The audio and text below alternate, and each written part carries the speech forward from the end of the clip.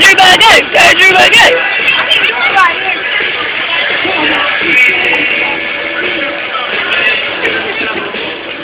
In general, the first baseman is a big swagger.